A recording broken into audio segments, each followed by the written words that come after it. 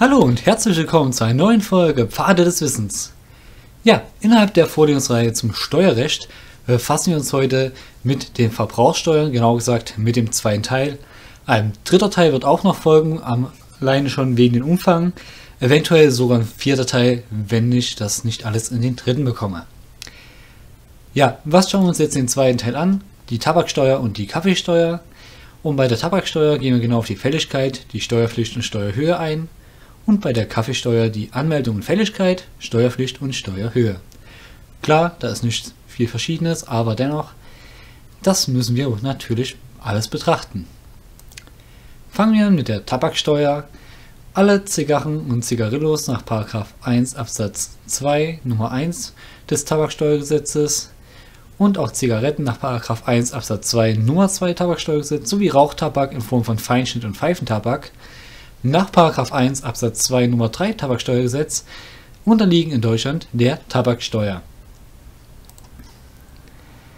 Raucherzeugnisse, die nicht aus Tabak bestehen, unterliegen ebenfalls der Rauchsteuer, sofern sie denn zum Rauchen geeignet sind. Hier zum Beispiel sind zu nennen die sogenannten Kräuterzigaretten.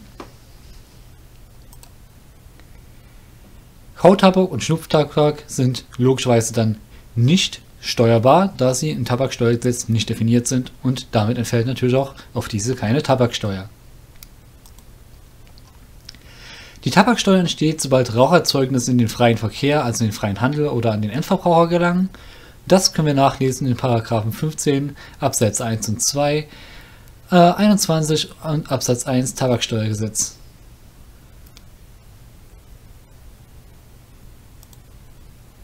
Steuerschuldner ist, wer die Tabakwaren in den freien Verkehr einbringt. Das finden wir in den Paragraphen 15 Absatz 4 und 21 Absatz 2 Tabaksteuergesetz, wobei wir unterscheiden muss, einerseits kann man natürlich durch das in Verkehr bringen quasi äh, ja, zum Steuerschuldner werden, allerdings auch, kann auch der Empfänger Steuerschuldner sein, wenn er denn diese weiterverkauft, sprich zum Beispiel eine Tankstelle. Ja, die Fälligkeit ist definiert im 18 Tabaksteuergesetz und der Zeitpunkt der Fälligkeit ist von Art und dem Zeitpunkt des Inverkehrbringens abhängig. Und hier bietet sich natürlich wieder ein Schema an. Als allererstes müssen wir prüfen, ob das Raucherzeugnis unrechtmäßig entnommen wurde. Falls ja, greift der Paragraph 18 Absatz 2 Tabaksteuergesetz und die Tabaksteuer ist sofort fällig. Falls nein, müssen wir prüfen, wann wurde das Raucherzeugnis bezogen. War es bis zum 15. eines Monats, dann müssen wir schauen, ob es sich um Zigarren oder Zigarillos handelte. Falls ja, dann sind wir in Paragraph 18 Absatz 1 Nummer 1a Tabaksteuergesetz und dies ist dann am 10. des übernächsten Monats fällig. Ansonsten greift Paragraph 18 Absatz 1 Nummer 1b und das ist dann der 12. des nächsten Monats. Wurden die Raucherzeugnisse hingegen nach dem 15. eines Monats bezogen, auch hier prüfen wir wieder, sind es Zigarren oder Zigarillos. Falls ja, greift 18 Absatz 1 Nummer 2a. Dann sind diese nämlich am 25. Tag des übernächsten Monats fällig. Andernfalls ist die Tabaksteuer am 27. des nächsten Monats fällig. Das ist zu finden in 18 Absatz 1 Nummer 2b. Wir haben also quasi zwei Grenzen, die wir in dem Moment betrachten müssen, vor oder nach dem 15. und Zigarren und Zigarillos oder irgendwas anderes, was der Tabaksteuer unterliegt. Ja, die Steuerpflicht, die ist ein bisschen komplex. Wir müssen damit anfangen, uns zu überlegen, wer Empfänger der Raucherzeugnisse ist. Sind das die ausländischen Truppen samt Gefolge, landen wir in Paragraph 9 Absatz 1 Nummer 1 Tabaksteuergesetz. Hier ist die Steuer ausgesetzt und fällt nicht an, das heißt, Ausgesetzt bedeutet in dem Fall, sie ist witzigerweise definiert und damit theoretisch steuerbar und da das dann kein Befreiungsgrund ist, auch theoretisch steuerpflichtig.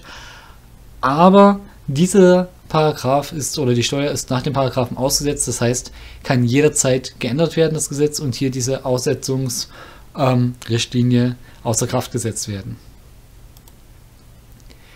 Ähnlich ist das für internationales Militär, wenn Hauptquartier in Deutschland, gilt Paragraph 9 Absatz 1 hier Nummer 2. Auch hier ist die Steuer ausgesetzt. Auch Stellen der USA in Deutschland, die müssen keine Tabaksteuer entrichten, weil auch hier die Steuer aussetzt ist, hier in dem Fall Nummer 3. Ebenso diplomatische Missionen und konsularische Vertretungen, da greift die Nummer 4 desselben Paragraphen. Nummer 5 desselben Paragraphen ist angelegt worden für internationale Einrichtungen laut Verträgen. Tja, da müsste man natürlich jetzt alle Verträge prüfen, das ist immer ein bisschen schwer.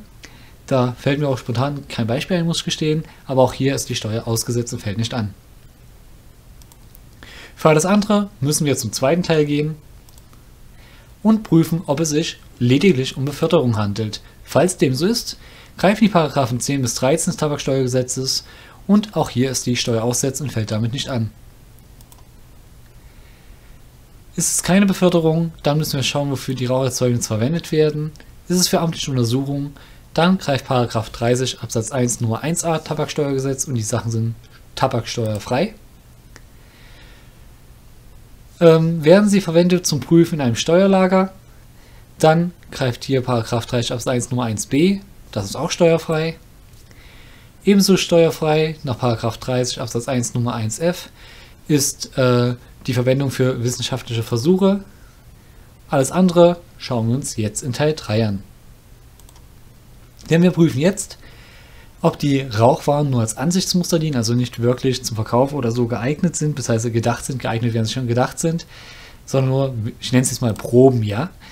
Ähm, ist das der Fall, dann greift Paragraph 30 Absatz 1 Nummer 1c Tabaksteuergesetz und ist steuerfrei. Andernfalls müssen wir schauen, ob sie unserer Steueraufsicht vernichtet werden. Ist dem so, ist das steuerfrei nach 30 Absatz 1 Nummer 1d Tabaksteuergesetz. Ist dem nicht so, prüfen wir weiter, und zwar ob sie für gewerbliche Zwecke außer zur Herstellung von Tabakwaren und dem Verbrauch verwendet werden. Ist dem so, dann greift 30 Absatz 1 Nummer 1c und es ist steuerfrei. Andernfalls prüfen wir weiter in Teil 4 und stellen uns die Frage, werden sie in Steuerlagern zur Herstellung von Erzeugnissen verwendet, die nicht der Tabaksteuer unterliegen? Falls ja, greift 30 Absatz 1 Nummer 1g und es ist steuerfrei. Falls nicht, können wir zumindest schauen, ob sie für den Eigenbedarf verwendet werden. Wenn dem so ist, dann ist das steuerfrei nach 30 Absatz 1 Nummer 2 bis 3 Tabaksteuergesetz. Falls nicht, müssen wir schauen, handelt es sich denn um Rauchwaren eines Herstellers, die er seinen Angestellten unentgeltlich überlässt? Falls ja, ist das steuerfrei nach 30 Absatz 3. Falls nein, haben wir alle möglichen Befreiungsgründe bzw. Ähm, Aussetzungsgründe ausgeschöpft und es muss steuerpflichtig sein nach 1 Absatz 1 Tabaksteuergesetz. Gut. Haben wir das geklärt? Kommt natürlich als nächstes die Steuerhöhe. Die finden wir definiert in 2 des Tabaksteuergesetzes und hier muss der reguläre Steuersatz und der Mindeststeuersatz errechnet werden und dann schaut man, welcher von beiden höher ist und den wählt man. Das ist also ein relativ komplexes Verfahren, werdet ihr auch gleich sehen. Wichtig ist zur Begriffsdefinition der Kleinverbrauchspreis, kurz KVP. Das ist ein Preis, der vom Hersteller festgelegt wird und auf das entsprechende Erzeugnis abgedruckt wird und festlegt, zu welchem Preis diese Ware überhaupt verkauft werden darf. Sprich, der Hersteller legt auch fest, wie teuer darf das Ding überhaupt sein. Der darf auch nicht unterschritten werden, das finden wir in Paragraphen 26. Es sei denn, es gilt eine Sonderregelung, zu finden in Paragraph 27. Und auch ein Überschreiten ist nicht zulässig nach Paragraph 28. Das heißt, drüber niemals, drunter nur mit Ausnahmen.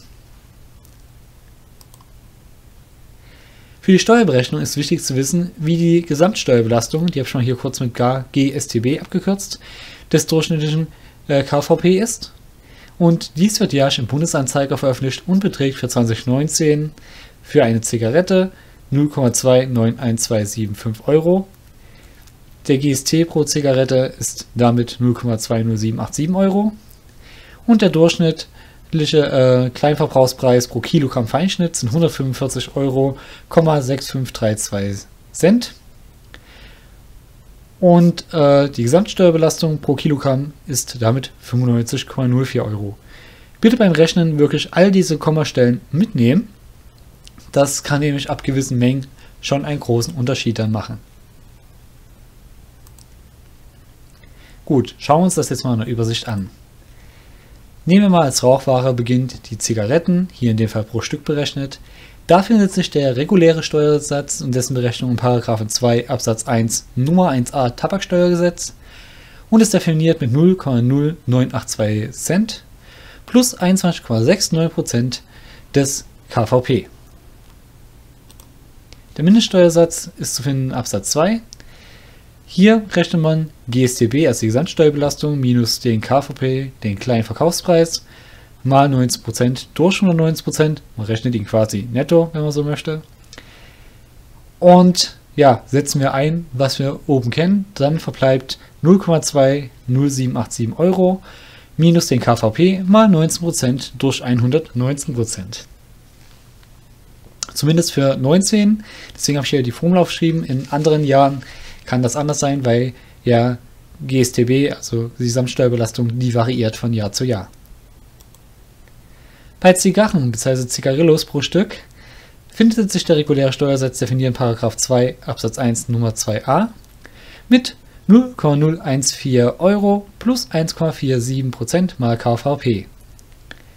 Der Mindeststeuersatz ist zu finden in 2 Absatz 1 Nummer 2a Tabaksteuergesetz und beträgt 0,0576 Euro mal 90% durch 190%, was ich ein bisschen erstaunlich finde, weil quasi so Zigarren, Zigarillos enthalten ja theoretisch mehr Tabak, wir reden ja hier pro Stück, aber die Steuerbelastung ist deutlich niedriger. Also aus steuerlicher Sicht müsste man sagen, um Tabaksteuer zu sparen, müsste man eher empfehlen, Zigarren und Zigarillos als Zigaretten zu konsumieren. Ist natürlich jetzt vielleicht nicht der sinnvollste Grund, aber eigentlich mal eine Überlegung, auch im Bereich, wer konsumiert was und ähm, ich sage es jetzt mal ganz hart, Zigaretten sind ja wohl dann eher den ärmeren Schichten und Zigarren und Zigarillos eher den höheren Schichten zuzuordnen. Und ja, das erweckt so ein bisschen den Eindruck, dass Höherverdiener hier das Gesetz ein bisschen zu ihren Gunsten beeinflusst haben, als das mal geschrieben wurde. Aber das ist noch eine Möglichkeit. Man kann natürlich auch begründen und sagen, ja Moment, Zigaretten werden deutlich mehr konsumiert als Zigarren und Zigarillos. Da äh, die Tabaksteuer möglichst hoch anzusetzen, bedeutet natürlich anderum, äh, andererseits automatisch mehr Steuereinnahmen. Allerdings auch ähm, eine höhere Steuerungsfunktion zu sagen, hier wird weniger verbraucht. Aber okay, das nur by the way. Was noch fehlt, ist Feinschnitt. Das wird gerechnet pro Kilogramm. Der reguläre Steuersatz definiert in Paragraphen 2 Absatz 1 Nummer 3a mit 48,49 Euro plus 14,76% des Kleinverkaufspreises. Beim Mindeststeuersatz landen wir in Paragraphen 2 Absatz 3 Tabaksteuergesetz. Hier rechnen wir die Gesamtsteuerbelastung minus den Kleinverkaufspreis mal 90% durch 190% ich werde aber jetzt nebenbei die Abkürzung verwenden, sprachlich. Es ist nämlich etwas anstrengend, stelle ich gerade fest. Damit landen wir bei 95,04 Euro minus KVP mal 19% durch 119%. Last but not least haben wir den Pfeifentabak, der auch pro Kilogramm berechnet wird. Der reguläre Steuersatz findet sich in 2 Absatz 1 Nummer 4 mit 15,66 Euro plus 13,13% mal KVP. Der Mindeststeuersatz ist definiert in 2 Absatz 1 Nummer 4 mit einfach 22 Euro, ohne groß zu rechnen. Machen wir eine kleine Ad-Hoc-Übung dazu, damit ihr seht, wie man sowas macht. Aufgabe ist, prüfe, ob in folgenden Fällen Tabaksteuer anfällt und wenn ja, in welcher Höhe. Ich habe mir zwei Beispiele ausgedacht, die schauen wir uns auch gleich näher an. A ist, an eine diplomatische Mission werden 3000 Stück Zigaretten zu einem Preis von 500 Euro verkauft. Gut, wir prüfen die Steuerpflicht. Hier greift 9 Absatz 1 Nummer 4. Die Steuer ist ausgesetzt, ist eine diplomatische Mission von einem anderen Land. Damit haben wir diesen Aussetzungstatbestand. Der ganze andere Rest interessiert uns nicht. Die Tabaksteuer können wir entsprechend mit 0 Euro angeben. Bei B müssen wir ein bisschen was rechnen. Das ist, dass an ein Kiosk zum Weiterverkauf 5000 Stück Zigaretten zu einem Preis von 1500 Euro verkauft werden. Das ist steuerpflichtig im Sinne des Paragraph 1 Absatz 1 Tabaksteuergesetz. Es gibt nämlich keine Befreiungstatbestände. Und zur Rechnung nehmen wir den Paragraphen 2 Absatz 1 Nummer 1a und berechnen 0,0982 Euro pro Zigarette mal 5000 Zigaretten oder Stück plus 21,69% des Kleinverkaufspreises, hier gerechnet also mit mal 1500 Euro. Das ergibt 491 Euro plus 325,35 Euro, macht Tabaksteuer in Höhe von 816,35 Euro. Ja, der Mindeststeuersatz ist definiert Paragraph 2 Absatz 2. Hier rechnen wir 0,20787 Euro pro Stück mal 5000 Stück minus 1500 Euro mal 90% durch 190% ist gleich 1039,35 Euro minus 239,5 Euro macht 799,85 Euro. Wir wählen hier das höhere, das sind die 816,35 Euro, das ist die Tabaksteuer, die wir hier für 5000 Stück Zigaretten zu entrichten haben. Man sieht also, die Tabaksteuer macht schon einen ganz schön großen Anteil des Verkaufspreises aus. Gut, das war mein Teil. Euer Teil zum Thema Tabaksteuer ist quasi dasselbe nochmal zu machen. Also zu prüfen, ob hier Tabaksteuer anfällt und wenn ja, in welcher Höhe. Hab mir hier vier Beispiele ausgedacht. Und ja, ich würde wie immer vorschlagen, ihr pausiert das Video an der Stelle, nehmt euch Stift und Papier oder irgendein anderes Medium zur Hand und versucht euch mal in der Lösung der Aufgaben Gerne auch natürlich mit den Folien, die ich euch präsentiert habe. Ansonsten aus dem Kopf wird das wahrscheinlich ein bisschen schwer. Ich bringe derweil zur Lösung und ja, dann vergleichen wir. Ich wünsche auf jeden Fall viel Erfolg. Bis gleich. Okay, kommen wir zur Lösung. Für Fall A, das war eine Tonne Tabakfeinschnitt mit einem KVP von 150.000 Euro, werden vom Tabakprozenten A aus München in ein Warenlager in Berlin transportiert. Wir prüfen die Steuerpflicht und stellen fest, Moment, hier haben wir doch einen reinen Transport. Damit greifen noch die Paragraphen 10 bis 13 des Tabaksteuergesetzes und die Steuer ist ausgesetzt. Wir müssen nichts berechnen und die Tabaksteuer ist damit automatisch gleich 0. B war ein bisschen mehr Arbeit. Hier war der Fall, dass eine Tankstelle zum Weiterverkauf 2000 Stück Zigaretten zu einem Preis von 650 Euro verkauft. Hier prüfen wir die Steuerpflicht und es ist ein ganz normaler Verkauf. Es greift 1 Absatz 1, es ist steuerpflichtig. Und müssen jetzt prüfen, welcher der Steuersatz denn der höhere ist, den wir dann wählen. Der reguläre Steuersatz nach 2 Absatz 1 Nummer 1a berechnet sich mit 0,0982 Euro pro Stück mal 2000 Stück plus 21,69% mal 650 Euro. Das sind 196,40 Euro plus 140,99 Euro macht insgesamt Tabaksteuer von 337,39 Euro, wenn man den regulären Steuersatz unterstellt. Beim Mindeststeuersatz müssen wir nach 2 Absatz 2 Tabaksteuergesetz rechnen. Das sind dann 0,20787 Euro pro Stück mal 2000 Stück minus 650 Euro mal 90% durch 190%. Das ergibt 415,74 Euro minus 103,78 Euro macht 311,96 Euro beim Mindeststeuersatz. Wir wählen den höheren, hier in dem Fall den regulären Steuersatz, das sind 337,39 Euro. In jedem praxisrelevanten Beispiel für 2019 müsste bei Zigaretten eigentlich der reguläre Steuersatz immer höher den Mindeststeuersatz sein. Gut. C. An einer Universität werden zu wissenschaftlichen Versuchszwecken 5 Kilogramm Feinschnitttabak zu einem Preis von 700 Euro geliefert. Ja, hier landen wir passenderweise in Paragraph 30 Absatz 1 Nummer 1f. Es ist steuerfrei, denn es ist für wissenschaftliche Versuchszwecke und das ist ein Steuerbefreiungstatbestand für die Tabaksteuer, womit keine anfällt. Punkt. D. Eine Einzelhandelskette erwirbt von einem Tabakhersteller 1000 Zigarren zum Preis von 8000 Euro zum Weiterverkauf. Steuerpflichtig ist das, weil kein Befreiungsmerkmal greift. Wir landen also in Paragraphen 1 Absatz 1. Reguläre Steuersatz für Zigarren finden wir in Paragraphen 2 Absatz 1 Nummer 2a Tabaksteuergesetz und berechnet sich mit 0,014 Euro pro Stück mal 1000 Stück plus 1,47% mal 8000 Euro das ergibt 14 Euro plus 117,60 Euro macht 131,60 Euro für den regulären Steuersatz. Der Mindeststeuersatz ist für den Paragraphen 2 Absatz 1 Nummer 2a Tabaksteuergesetz wird berechnet mit 0,0576 Euro pro Stück mal 1000 Stück minus 8000 Euro mal 90% durch 190%. Und das ergibt 57,60 Euro minus 1277,31 Euro macht minus 1219,71 Euro. Aha, negativ. Dazu habe ich natürlich eine kleine Bemerkung gemacht. Das ergibt ja keinen Sinn, negative Steuer, man kriegt ja kein Geld wieder.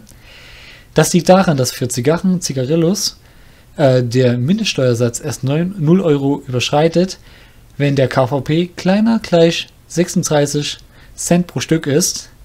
Und bei Zigarren tritt das normalerweise nicht ein, wenn man sich mal so die normalen Verkaufspreise anschaut. Man findet normalerweise keine Zigarren für so einen Preis von 36 Cent oder weniger. Um das mal mathematisch nur kurz zu beweisen, habe ich eine kleine Rechnung gemacht und die Formel umgestellt. Wir haben dann 0,0576 Euro ist gleich KVP mal 0,19 durch 1,19. Wir stellen die Formel um, haben dann KVP ist 0,0576 Euro mal 1,19 durch 0,19. Das ergibt 0,361 Euro, also rund 36 Cent.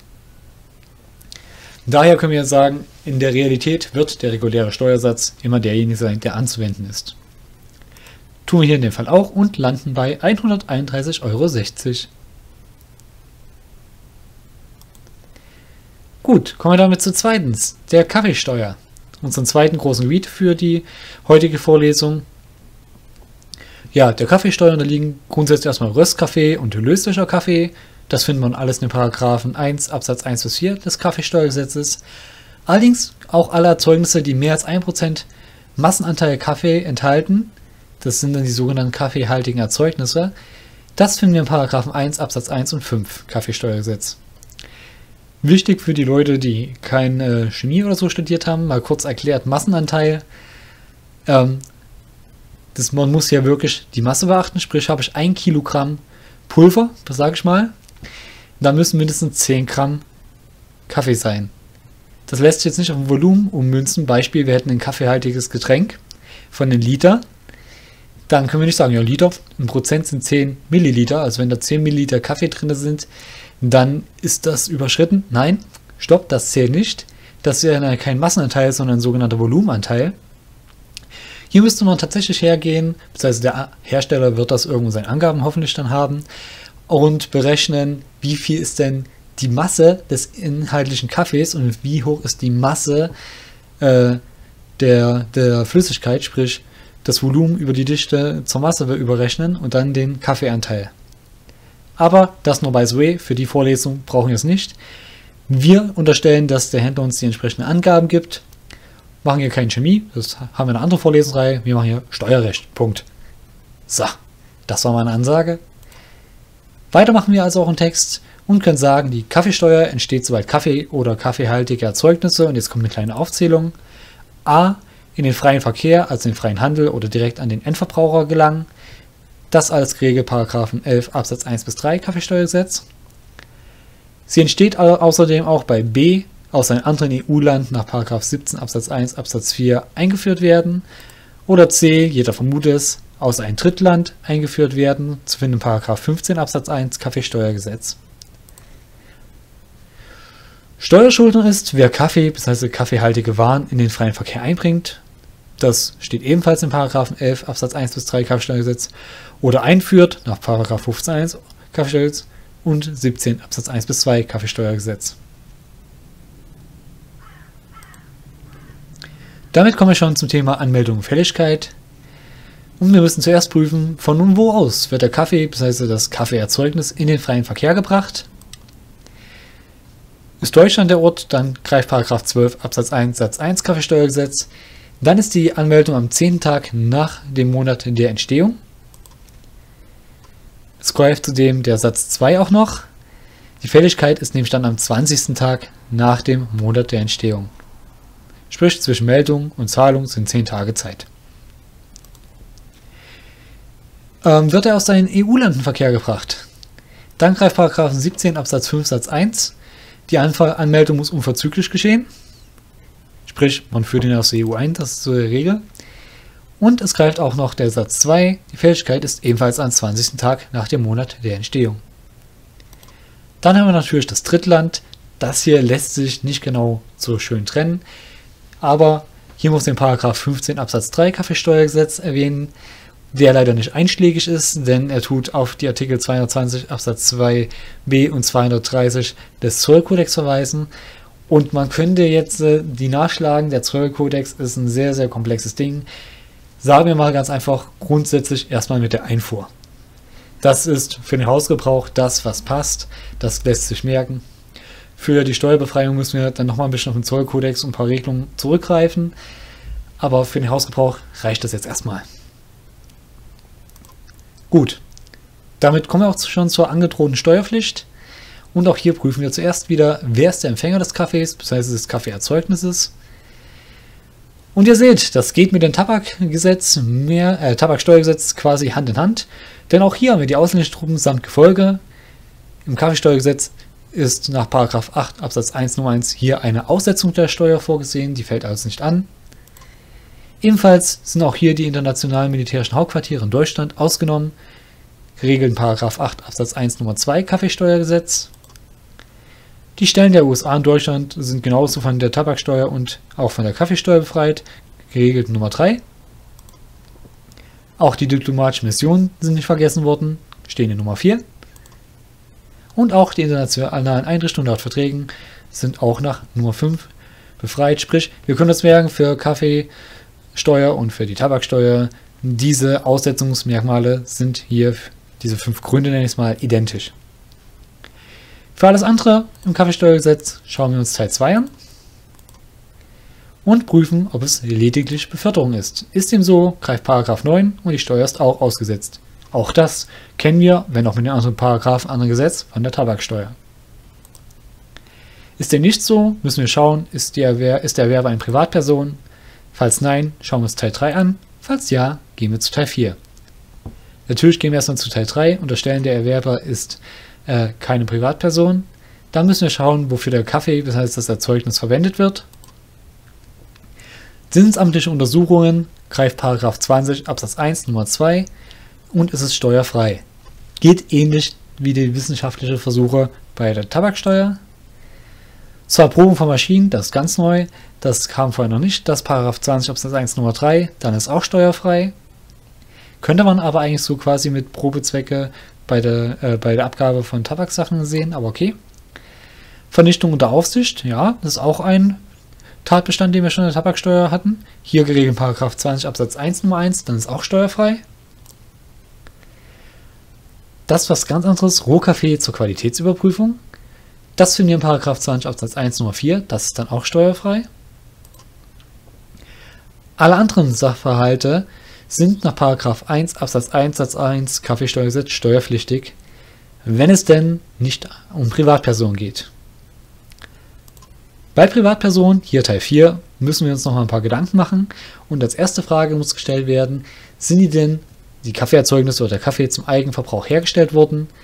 Falls ja, greift 20 Absatz 1 Nummer 5 Kaffeesteuergesetz und es ist steuerfrei. Falls nein, müssen wir schauen, woher kam denn bitte der Kaffee oder das Kaffeeerzeugnis? Kam es aus Deutschland, dann greift hier 1 Absatz 1 Satz 1 und es ist steuerpflichtig. Beim Drittland ist es erstmal grundsätzlich nach 16 Absatz 1 steuerfrei, wenn die Grenzen innerhalb der Zollvorgaben, sprich vom Zollkodex, eingehalten sind, das war der Punkt, wo ich sagte, wir kommen da nochmal drauf. Diese Grenzen sind bei See- und Flugreise 430 Euro pro Person, bei anderen 300 Euro Person und Kinder bis 15 Jahre 150 Euro pro Person. Sprich, fährt man jetzt, äh, keine Ahnung, mit einem Auto in die Schweiz, kauft dort äh, Kaffee im Wert von 300 Euro, umgerechnet hier dann in Deutschland, ähm, und ist man eine Person, da ist alles okay. Erst wenn man drüber kommt, dann wird es komplett steuerpflichtig, ansonsten steuerfrei. Beim EU-Land müssen wir weiter prüfen, hat man den Kaffee denn selbst eingeführt, also die Privatperson den Kaffee selbst eingeführt?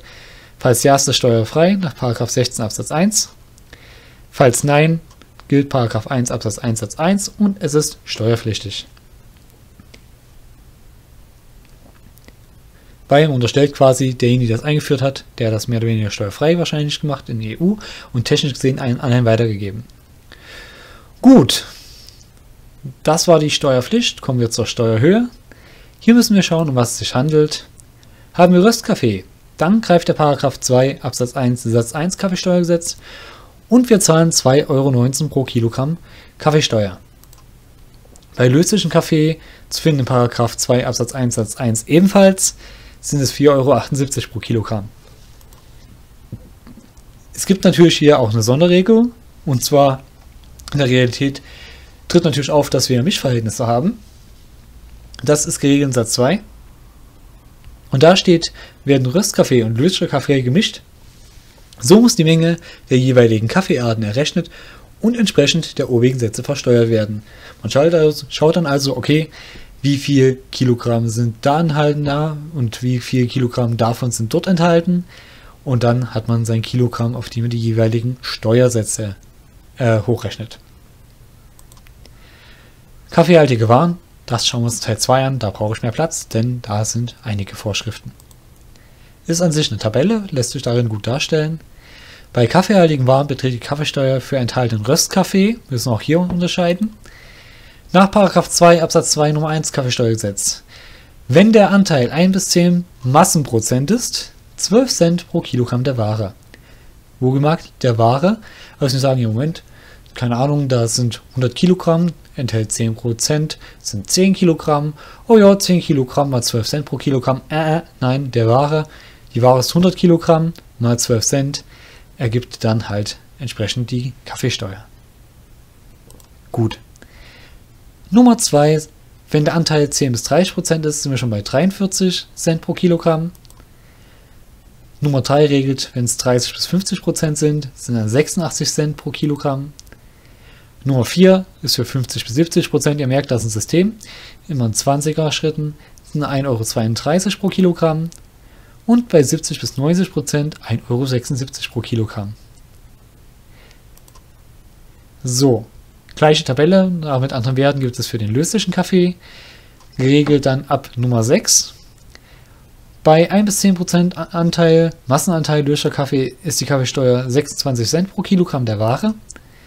Bei 10 bis 30 Prozent 94 Cent pro Kilogramm der Ware, 30 bis 50 Prozent 1,91 Euro pro Kilogramm der Ware, 50 bis 70 Prozent 2,86 Euro pro Kilogramm der Ware und haben einen Anteil von 70 bis 90 Prozent 3,83 Euro pro Kilogramm der Ware.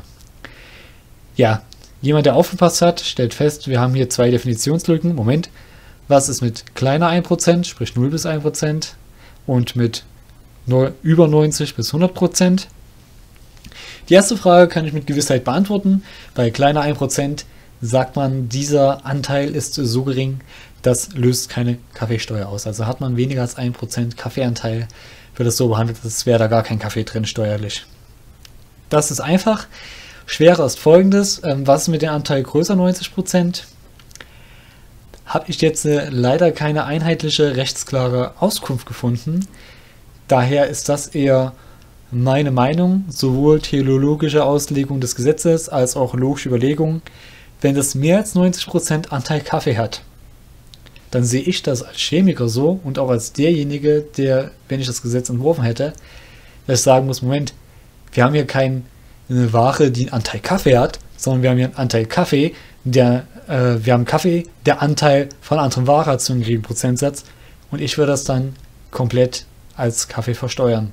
Vermutlich ist das so, also wenn wir sagen, wir haben 95% Kaffeeanteil von löslichen Kaffee, vermute ich mal sehr, sehr stark, dass die gesamte Ware als äh, ja quasi zu 100% löslicher Kaffee besteuert wird. Aber wie gesagt, da habe ich keine rechtsverbindliche Auskunft. Das ist eher logische Überlegung, Meinung und Auslegung von mir. Habe ich deswegen auch in keiner der Übungen hier mit reingenommen. Wo wir dann das Thema Übung ansprechen, perfekte Überleitung. Ja, ich habe ja wieder eine Übung erstellt, die läuft parallel genauso ab wie ähm, die Übung bei gerade der Tabaksteuer. Wieder mal prüfen, ob hier Kaffeesteuer überhaupt anfällt und hier in welcher Höhe. Ich mache das erst wieder ad hoc an zwei Beispielen für euch. A ist, eine Privatperson hat selbst Kaffeepflanzen in einem Gewächshaus gezogen und nach der Ernte 5 Kilogramm Röstkaffee zum Eigenverbrauch daraus hergestellt. Ja, wir landen in einem Befreiungstatbestand, Paragraph 20 Absatz 1 Nummer 5 Kaffeesteuergesetz. ja quasi selbst hergestellt und dann mit einer kleinen Menge, fällt keine Steuer an für den Eigenverbrauch. Wenn er es weiterverkaufen würde, wäre es das anderes. Vorteil ist natürlich hier gegenüber der Tabaksteuer, wir müssen nicht zwei verschiedene äh, Steuerberechnungsvorschriften prüfen und uns dann für eine entscheiden, sondern es gibt hier eine einheitliche Definition, wie wir es gerade gesehen haben. Bei B dürfen wir ein bisschen rechnen. Der Fall lautet hier, ein deutscher Kaffeehersteller liefert 100 Kilogramm seiner Wonder-Mischung, die aus 30% Röstkaffee und 70% löslichen Kaffee besteht, an eine Tankstellenkette, welche daraus Kaffee für ihren Kunden brüht. Ja, das ist ganz normal steuerpflichtig, in Verkehr gebracht und so weiter, Paragraph 1 Absatz 1 Satz 1 Kaffeesteuergesetz. Und wir haben hier äh, eine Mischung, habe ich extra gewählt, damit man die relativ komplexe Rechnung sieht. Relativ, ja, also Prozentrechnung. Wir landen auf jeden Fall in den Paragraphen 2 Absatz 1 Satz 1 und 2 und rechnen, aha, Anteil Röstkaffee ist 30%, mal 100 Kilogramm, Masseanteil halt, ne? Mal 2,19 Euro pro Kilogramm macht 65,70 Euro. Löslicher Kaffee sind 70% mal 100 Kilogramm mal 4,78 Euro pro Kilogramm macht 334,60 Euro. Ergibt also eine Kaffeesteuer von 65,70 plus 334,60 macht 400,30 Euro Kaffeesteuer, die hier anfällt, unabhängig von dem Verkaufspreis. Bei Tabaksteuer ist es ja an diesen KVP, an den Kleinstverkaufspreis und äh, die Gesamtsteuerbelastung gebunden. Hier ist das rein an Masse und Massenanteil gebunden. Gut, so viel dazu, was ich euch zeigen wollte. Jetzt seid ihr dran, das selbst auch mal zu versuchen. Wieder einmal bitte ich euch natürlich hier zu pausieren und dann Stift, Papier und was auch immer zur Hand zu nehmen und selbst mal diese sechs Aufgaben sortiert nach zunehmender Schwierigkeit ähm, zu beurteilen. Ich springe schon mal zur Lösung und wünsche euch viel Erfolg. Mal schauen, ob wir dasselbe raus haben. Okay, kommen wir zur Lösung. Ich benötige drei Folien. Aufgabe 1. An ein internationales Militärquartier in Bayreuth werden 500 Kilogramm Röstkaffee für die dort stationierten Truppen von einem deutschen Hersteller geliefert. Hier haben wir einen Steuerbefreiungstatbestand bzw. steuerfrei. Äh, ist eigentlich auch nicht sauber formuliert, wenn ich jetzt gerade mal drüber denke. Müsste eigentlich sagen, Steuer wird nicht erhoben, fällt nicht an. Nach 8 Absatz 1 Nummer 2. Zweitens. Eine deutsche Privatperson bringt von ihrer Flugreise nach Korea 25 Kilogramm löslichen Kaffee im Wert von 300 Euro zum Eigenverbrauch mit. Ja, wir sind hier unter 430 Euro. Es greift 16 Absatz 1 Kaffeesteuergesetz und es bleibt steuerfrei. Denkt dran, ähm, da Flugreise waren 430 Euro okay. Drittens. Eine deutsche Privatperson lässt sich aus Italien 50 Kilogramm Röstkaffee im Wert von 500 Euro zum Eigenverbrauch liefern. Ja, das ist steuerpflichtig, weil es geht zwar eine Privatperson, aber es wird nicht selbst eingeführt aus einem EU-Land, sondern von jemand anderen. Die Steuerhöhe berechnet sich damit nach 2 Absatz 1 Satz 1 Kaffeesteuergesetz mit 50 Kilogramm mal 2,90 Euro pro Kilogramm gleich 109,50 Euro. Viertens. Ein großer IT-Konzern bezieht 100 Kilogramm löslichen Kaffee aus Frankreich im Wert von 1500 Euro für die Verköstigung seiner Angestellten. Ja, das ist auch steuerpflichtig, wir haben kein Befreiungsmerkmal. Die Steuerhöhe berechnet sich hier nach 2 Absatz 1 Satz 1 Kaffeesteuergesetz mit 100 Kilogramm mal 4,78 Euro pro Kilogramm gleich 478 Euro. Fünftens. Eine deutsche Privatperson bringt von ihrer Flugreise nach Bhutan 50 Kilogramm löslichen Kaffee im Wert von 700 Euro zum Eigenverbrauch mit. Für alle, die es gegoogelt haben, ja, Bhutan gibt es, noch nicht sehr lang, aber ist ein eigenständiges Drittland, so in der Nähe von China, Tibet. Gut. Was haben wir jetzt hier also? Wir haben über 430 Euro Einfuhr aus einem Drittland, greift Paragraph 1 Absatz 1 Satz 1. Es ist steuerpflichtig. Steuerhöhe finden wir in Paragraphen 2 Absatz 1 Satz 1. Die Kaffeesteuer beträgt hier 50 Kilogramm mal 4,78 Euro pro Kilogramm gleich 239 Euro. Und last but not least, sechstens, Ein belgischer Pralinenhersteller liefert 200 Kilogramm Pralinen mit 35% Anteil Röstkaffee nach Berlin an eine Bäckereikette zum Weiterverkauf. Ja, hier habt ihr gemerkt, ja gut, der will unbedingt, dass wir nicht nur Kaffee haben, sondern auch kaffeehaltige Erzeugnisse. Und ja, außer Süßwaren ist mir nichts eingefallen, was groß hat und einfach zu berechnen wäre. Außer Sachen halt, äh, die wirklich schon Getränke sind. Das ist natürlich steuerpflichtig nach 1 Absatz 1 Satz 1. Und hier rechnen wir nach 2 Absatz 2 Nummer 3 Kaffeesteuergesetz 200 Kilogramm mal 86 Cent pro Kilogramm wenn wir in die Tabelle schauen. Das macht 172 Euro. Gut. Damit sind wir am Ende der Vorlesung angelangt, haben jetzt die Tabaksteuer und die Kaffeesteuer als Verbrauchssteuern hinreichend erschöpft, müssen dann noch mit ein paar anderen Verbrauchssteuern weitermachen. Ich hoffe, es war für euch interessant, lehrreich und gut dargestellt. Ich würde mich natürlich über eine gute Bewertung, Daumen hoch oder einen netten Kommentar freuen. Gerne auch Kritik, Anregung etc.